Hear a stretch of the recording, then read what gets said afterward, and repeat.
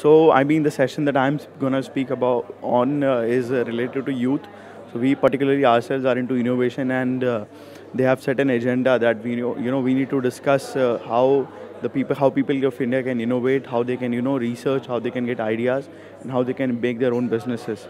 So it's actually very good platform, you know, giving out uh, a lot of content to youth related that how they can be independent, how they can, you know, become successful on their own. So it's sort of that. And I'm really happy to be here. I think the Modi government certainly has been trying their best uh, from past uh, five years now to, you know, make out some good changes and the startup policy that they have launched. I think it's really gonna add up on a lot of business profiles of youth that every youth which is trying to, you know, work out something. So it's very good to be here, and I look forward for discussions and you know good uh, panel discussions and good uh, some strategic uh, uh decisions coming out of this uh, summit. So I really go for that.